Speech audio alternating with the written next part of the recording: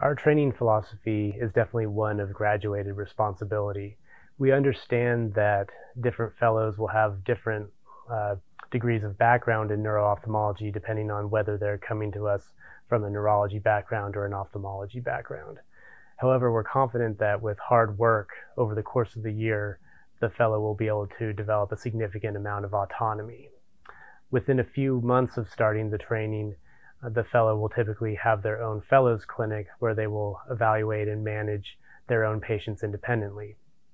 Of course, we'll always have a uh, faculty member of, available for consultation as needed.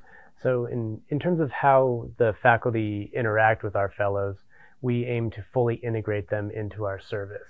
Not only does the uh, fellow work hand in hand with us in each of our respective clinics, but we also partner with them directly in providing um, training to the residents at the Duke Eye Center. This means that the fellow is highly involved in providing regular didactic sessions to the residents and also in guiding them in the evaluation and management of uh, patients on the consult service in the emergency department and in the hospital. Our goal is to produce neuro-ophthalmologists who are excellent clinically and at teaching.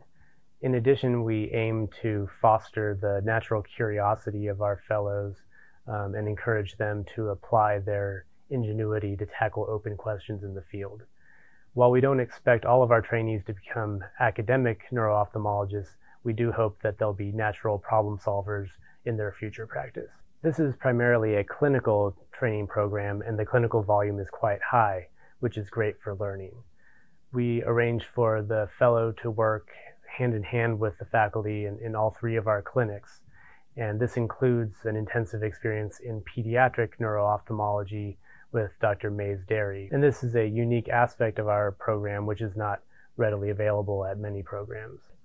Over the course of the year, a fellow will gain exposure to virtually all key disease processes in neuro-ophthalmology, and by the end of the year should feel comfortable in evaluating any neuro-ophthalmology referral that comes through the door for those fellows who have a background in surgical ophthalmology, we also have plenty of opportunities for them to get hands-on experience with temporal artery biopsies, um, optic nerve sheath fenestrations, and strabismus surgery.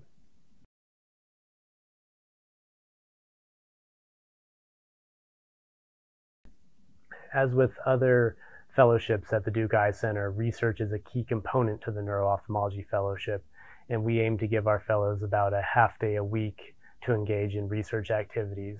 Our hope is that by the end of the year, they will have been able to complete a substantive project and to submit it for publication. We believe that with the um, intensive clinical training available here, combined with the cutting edge research in neuro-ophthalmic disease, that our graduates will be highly competitive for um, the uh, position of their choice. I think that Duke is uniquely positioned because of the breadth of educational opportunities available to our fellows. You'll have the opportunity to work with three different faculty members in neuro-ophthalmology, each of us having a, a unique perspective on the field. There's also the opportunity to pursue research, not just in terms of clinical research, but also um, translational or basic science research um, for an interested fellow.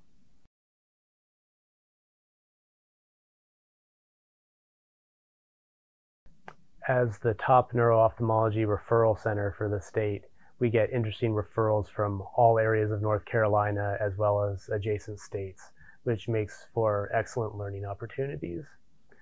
In addition, we're fortunate to have top-notch colleagues in neurosurgery, neurology, rheumatology, and neuroradiology, and their expertise really enhances the training opportunities for our fellows and also helps us to provide optimal care for our patients.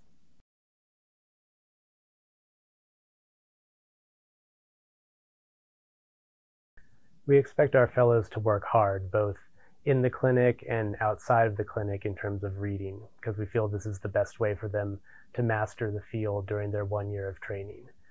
We also expect the resident to be very proactive in contributing to the education of our residents.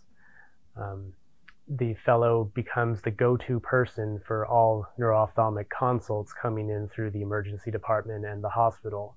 And as the year goes on, the fellow becomes more and more independent in terms of guiding the management of these patients by themselves. We also expect our fellows to be curious and inquisitive and to um, actively engage in several research projects during the course of the year. We hope that our fellows will come away from Duke feeling that they experienced a training environment that was demanding but highly supportive. It's certainly our hope that our trainees will develop mentoring relationships with the faculty that they'll take with them and continue in the coming years. That's certainly how I felt after completing the fellowship myself four years ago.